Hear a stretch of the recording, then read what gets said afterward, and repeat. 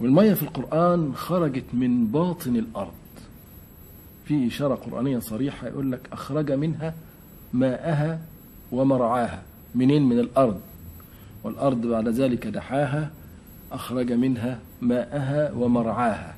ربنا سبحانه وتعالى أخرج المية من باطن الأرض. بعكس الصورة الشائعة إنها جايين من فوق. لا ربنا بيقول أنا طلعتها من من جوف الأرض. فطبعا الحقيقة دي هي آخر ما وصل إليه العلوم حاليا. وأجمعت عليه العلوم إن المية فعلا جاية من باطن الأرض أصلا. في من 4000 سنة من أول التكوين والنشأة التفاعلات الباطنية اللي في الأرض اللي عملت الزلازل والبراكين وكانت البراكين شيء مهول. كان ضمن ما يخرج من باطن الأرض بخار المية بكميات هائلة. وكانت النتيجة على ألوف السنين كل الكوكب الأرضي بقى مغلف بالسحب سميكة جدا.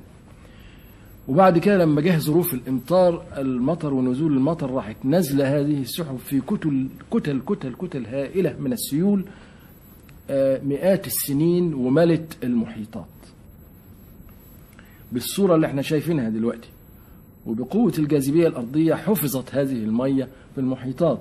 لو كنا زي القمر حجمنا صغير كان الهواء والمية تطيروا وما أمكنش للارض إنها تمسكهم الأرض ماسكة الهواء والمية بقبضه الجاذبية. حاليا المية تبتدي تعمل دورة بقى. المية اللي في المحيطات كل المحيطات دي على الظهر كده تبقى غلاية هائلة بتسخن عن طريق الشمس تتبخر يطلع البخار فوق. يخف الضغط فوق وتزداد البرودة فتتكثف فيحصل سحب هائلة وتيجي ظروف المطر فتنزل أمطار تنزل على الجبال تملى الأنهار وترجع تاني تصب الأنهار كلها في المحيطات. دورة باستمرار من المحيط للسماء ترجع تاني أنهار محيطات. بالشكل ده دورة مستمرة.